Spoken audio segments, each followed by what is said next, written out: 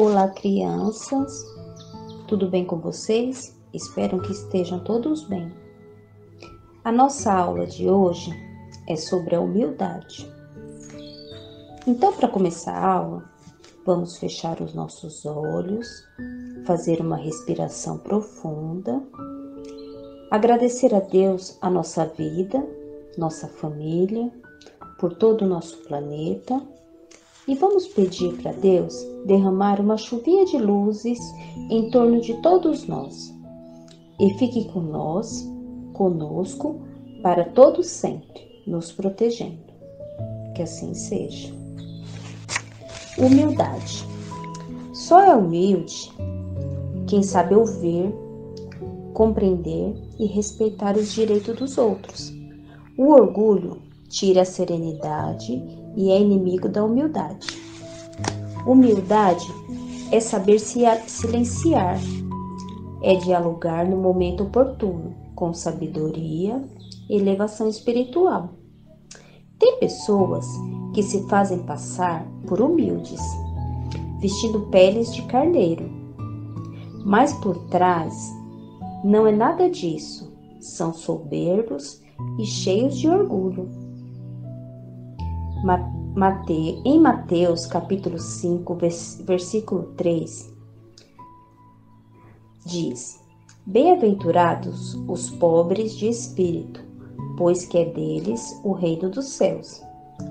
Jesus entendia que eles não eram aqueles sem inteligência, mas os, os humildes para os quais está reservado um bom lugar na espiritualidade. Qual o nosso maior exemplo? Por exemplo. Jesus, ele nasceu numa manjedoura simples, no estábulo, cheio de animais em volta. Foi um homem criado por pessoas simples e com tanta sabedoria e ensinamentos para nossas vidas. E o nosso maior exemplo de humildade foi um gesto que ele teve. Ele reuniu seus doze discípulos e quando Jesus, e Jesus pegou e lavou os pés dos seus discípulos. João, capítulo 13, versículo 1 ao 20. Então, vamos ter humildade com todos.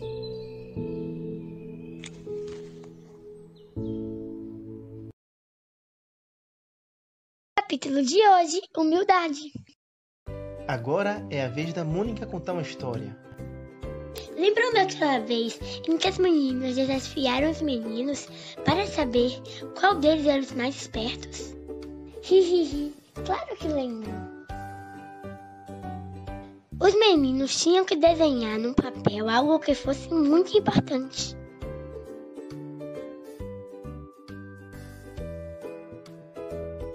Eu fiz uma grande máquina que faz todo tipo de sorvete. Eu sou o mais inteligente. Até bati palmas. Ah, e eu elaborei um plano infalível. E eu sabia que era o mais espelto. E eu, que desenhei um brinquedo de lixo reciclável. Eu sou o mais sabido de todos, até ganhei um beijinho da Maria Cascuda. E eu fiquei com vergonha de mostrar para todo mundo meu desenho. E o que ele desenhou? Ele desenhou a natureza dentro de um coração e disse todo desanimado que só tinha desenhado a amizade, o sol, as flores e as coisas simples. Que interessante! Nós também achamos, tio André. Até demos um prêmio para ele.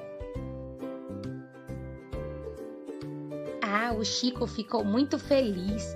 Ele achou até que nem merecia e deu até uma choladinha. Vocês perceberam, crianças?